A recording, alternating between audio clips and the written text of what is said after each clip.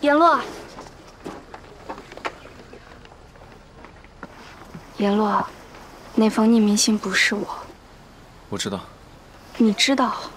我们本来就犯了错，举报的人是谁，其实都无所谓的。但我知道，以你的骄傲，你不会这么做。谢谢。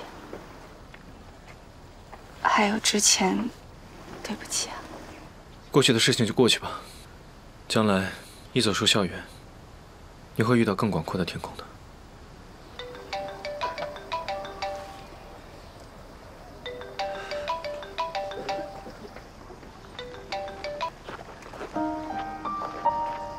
也许我会遇见更广阔的天空，却再也遇不见更好的你。哥，你和叶未眠分手了？刚才他给我打电话了，说想让我帮忙约大伯母，说什么你不肯原谅他，还要把店铺还给大伯母。你们俩怎么回事啊？对不起，您拨打的用户暂时无法接通。怎么不接啊？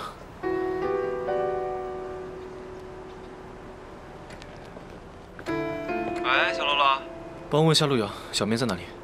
玩脱了吧你？少废话，快问！不用问了，我知道，他要去你们爱情开始的地方，做什么最后的告别。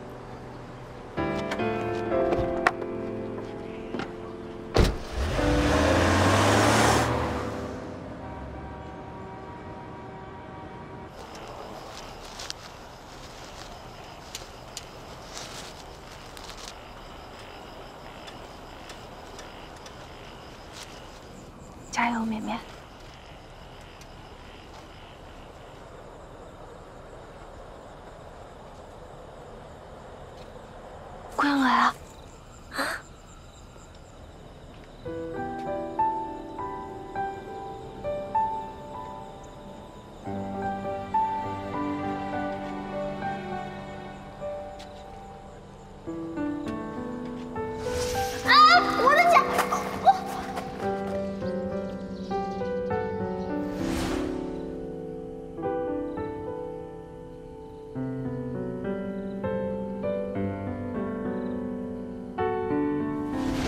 我们在一起这么久，你有无数个机会可以坦白，却让我连我女朋友是谁都不知道。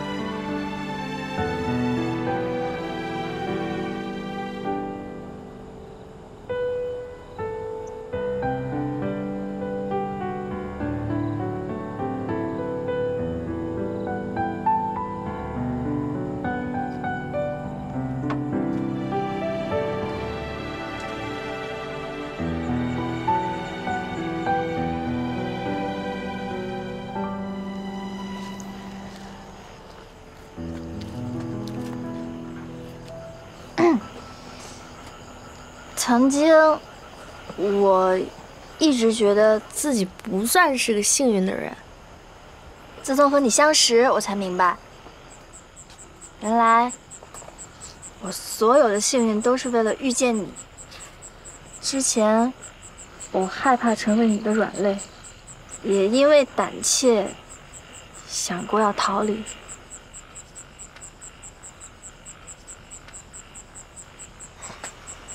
现在我明白了，当你爱上一个人，你不仅有了软肋，也有了盔甲。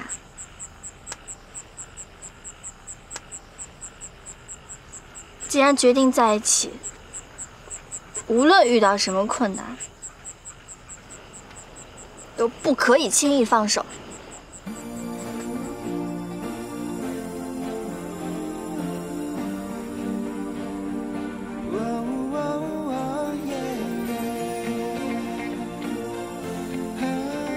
所以，我画了我们爱情的结局，你喜欢吗？我不喜欢。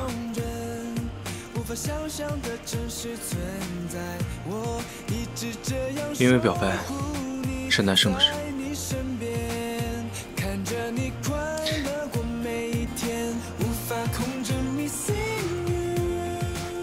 你曾经说我是个意外，可你才是我人生中最大的意外。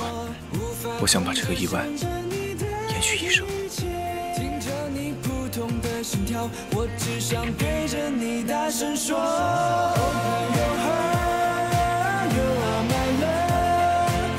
我们眼里充满着爱，我不会再让。